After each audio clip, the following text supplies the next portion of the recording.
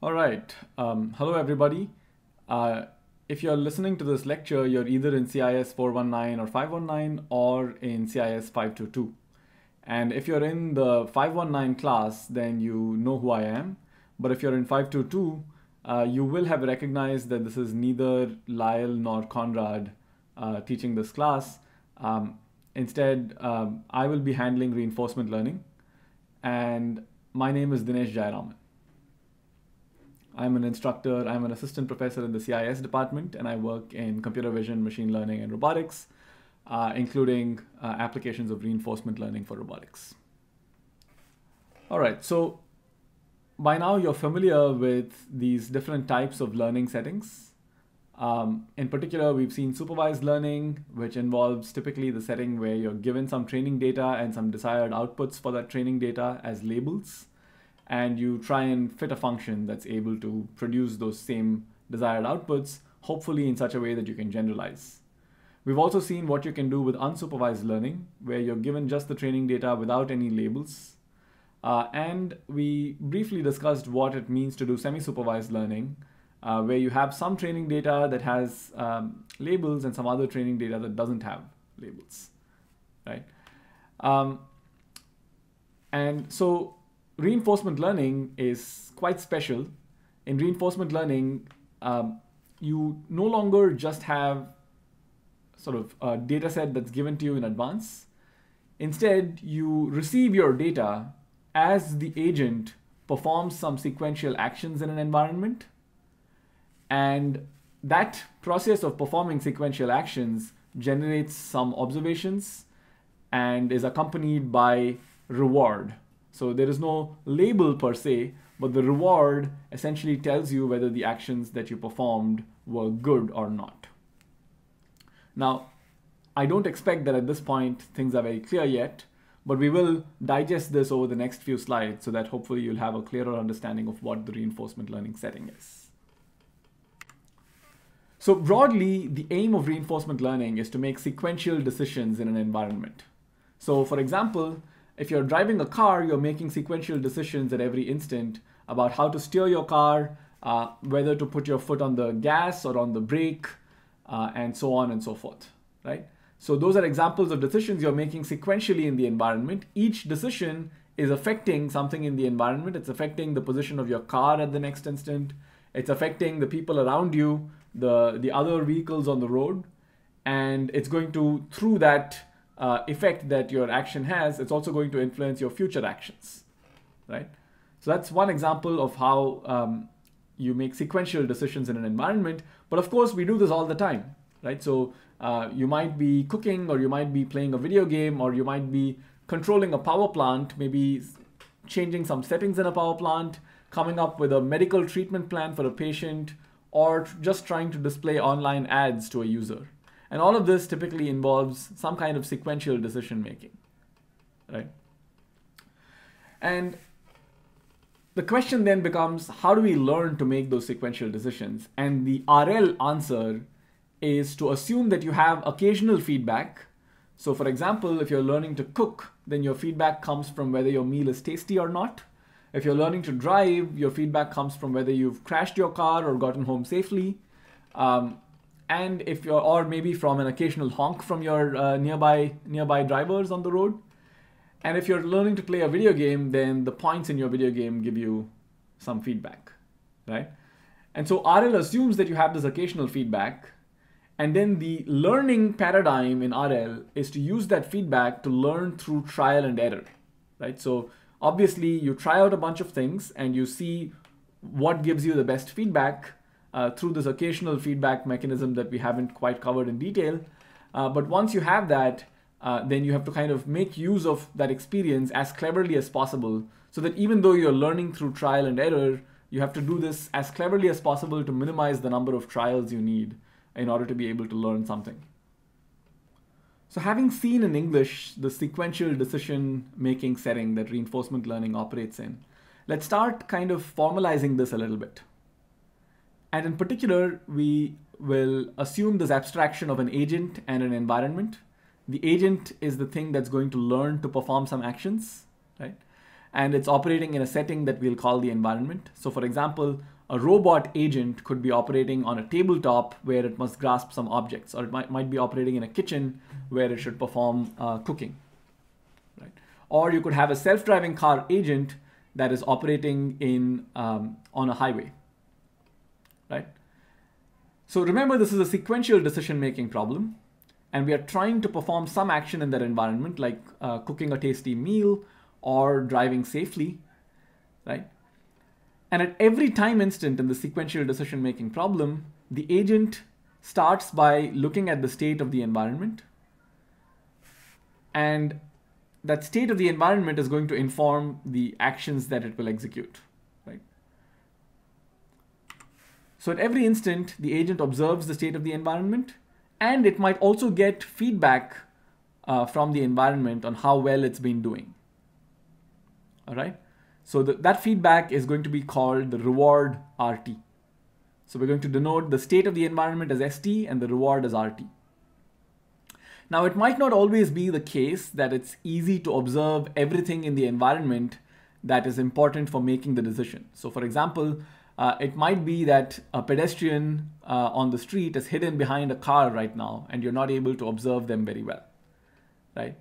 And so it might therefore be that you don't get to observe everything in the environment that is important. You don't get to observe the full state of the environment, and you might instead just observe some features of that state, some function of that state. And this might include some aspects of the state actually being omitted, like in that case with the pedestrian being occluded. So once you've done that, once you've gotten a reward RT from the environment, you've observed the state ST, and remember the reward is only occasional, so we don't always get a reward from the environment. There might be time instance T where there is no reward right? But once we've once we've done this, then the next step is the agent at time t emits an action into the environment or executes an action at in the environment, right? So you can think of this as kind of a turn by turn kind of um, abstraction of acting in the world, where uh, the agent first executes in one turn a particular action, and then it gets to get some feedback and it gets to see how the environment changed in response and then in its next turn it executes an, executes another action right? And so at the next instant again it's going to receive an updated state st plus 1 and a new reward rt plus 1 and remember we said at the beginning that the agent's goal in doing all of this was going to be that it wanted to make a tasty meal or it wanted to uh, drive a, a self-driving car uh, safely. Now the agent's goal um, is to, so we, we've said that in English, but the way that goal is actually expressed to the agent is through this reward, the feedback, right? And so the agent's goal in reinforcement learning is always just to maximize the expected rewards. So the reward is really important because it's really the reward that specifies what constitutes a good execution of a task and what does not. All right. So the agent's goal is going to be to maximize the expected rewards. And in particular, typically we will abstract out this process of learning a particular skill in the environment, like, um, like cooking or driving, into a policy function. A policy function which is a mapping from a state S. Remember the states are the configurations of the environment so it's going to be a policy function that's a mapping from the state S, which belongs to a set of states, capital S, that uh, the environment can be in. So it's going to be a mapping from a state S to an action. And an action A is going to be in the set of actions that the agent can take. Right? And so this function that's going to learn them, that's going to represent the mapping from states to actions, the optimal mapping from states to actions, uh, is, uh, is the output of reinforcement learning, if you will. Right? So at the end of reinforcement learning, the agent should have learned a good function, pi of s, which, is, which we'll call the policy function. All right, so how is reinforcement learning different from what we've seen before? Let's recap kind of what we've seen on the previous couple of slides. We've seen that in reinforcement learning, there is no notion of supervision, and instead supervision is replaced by occasional rewards as feedback. The second thing that we've learned about RL problems is that it operates in the sequential decision-making setting. And because it operates in the sequential decision-making setting, it means that data is going to be generated as sequences, right? Because we saw ST and then ST plus one um, are all generated in sequence. So it's not really IID sampling from uh, a distribution like we were assuming earlier. It's not independent and identically distributed like we've been assuming so far when we've been doing things like supervised learning. But instead, the data is going to be generated sequentially. Right? And thirdly, the training data is actually generated by the learner's own behavior. So when you're learning to drive, you are going to observe, you don't have a, a repository of training data that is waiting for you to optimize, uh, to learn an optimum policy from. Instead, reinforcement learning typically assumes that the data is being generated by the learner's own behavior.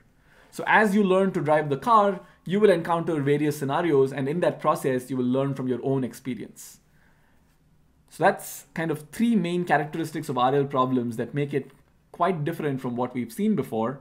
And this in turn leads to two key problems that a lot of RL literature is devoted to solving, which are the credit assignment problem, which is the problem of deciding which decisions that you made were the good or bad ones, or which actions that you executed were good or bad ones. Remember, you've executed a whole sequence of actions by the time you've completed a task. And so, if, for example, you've cooked a meal and your meal was not tasty, then it's important to figure out which of those decisions that you made when you cooked that meal were the good ones and which ones were the bad ones, right? And so that leads to this credit assignment problem because you only ever get feedback uh, occasionally, and that feedback might not correspond to something that you've done very recently. Instead, it might be the cascading effect of something that you did a few time steps back in the past. The second thing that's also a key problem, which is related to this third point above, is that because you're generating your own training data, it becomes important for you to decide what to pick to try. So we, we mentioned that reinforcement learning involves learning through a trial and error paradigm. But then it becomes important to decide what to try out. And uh, that is often captured as this notion of exploration versus exploitation. And we'll return to that and make that clearer as we get more into this.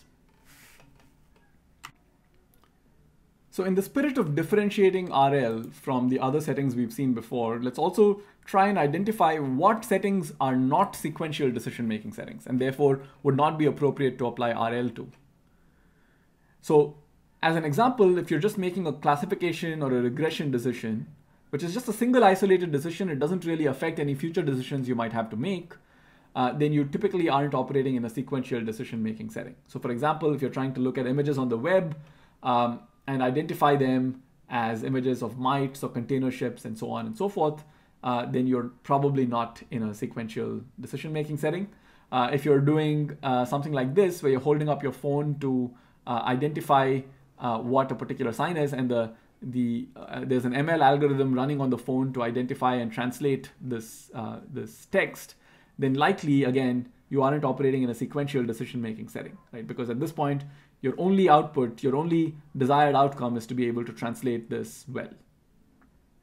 And if instead of operating in that kind of single isolated decision setting, your setting looks a little bit more like this, where um, you don't have supervision, and you're operating um, in settings where your actions are going to have consequences that go into the future, that produce new observations, that require new actions, and so on and so forth, uh, then you are operating in a sequential decision making setting. We've already seen some examples of ap- applications uh, like robotics, like autonomous driving. Uh, interestingly, you can also use reinforcement learning for language and dialogue. Um, so, for example, if you are trying to hold a conversation with a human, then the chatbot is the agent and the human is the environment. And so the chatbot has to execute actions which consist of saying the right things in order to accomplish some task, right? Or you could do um, business operations like we discussed, you know, operating a power plant or trying to make financial uh, financial decisions about which stocks to invest in and which stocks to divest from, for example, uh, could be your actions, right? And the stock market could be your uh, environment. Let's see some more concrete and fun examples of reinforcement learning. So here is an example of reinforcement learning in the context of uh, uh, video games. So this is of course the Mario video game. And uh, you can see that this reinforcement learning agent has learned a pretty good policy for solving this video game. Here's an example of an application with a more real world style flavor where a bunch of robot arms are um, trying to learn to grasp objects uh, from a cluttered tabletop. And so this result from a few years ago now, about five years ago now, um, was uh, was um, very exciting for, for reinforcement learning for robotics. And here is another example, again in a, in a robotic setting, but this time in simulation, um, of agents learning how to of agents learning how to uh, navigate various obstacle courses. I like to call this robot parkour. Uh, and you can see here that agents are uh, these kind of humanoid style agents are um, learning to navigate some pretty impressively difficult obstacle courses. And in these cases, the agents are continuing uh, are um, controlling the um, positions and velocities of all their joints at every instant, right? Uh, so that's the the action. The action must control the uh, angular velocities of these joints. So here's another example of a more complex robot, this time a spider It's also learning to do the same thing. And then uh, this uh, funny looking humanoid robot uh, that's operating on this obstacle course. Uh, and it's learned a kind of really weird gait, uh, but it works for it. It's able to actually even be robust to random forces that are applied. That's what those red bars are it's able to learn even to be robust to those random forces.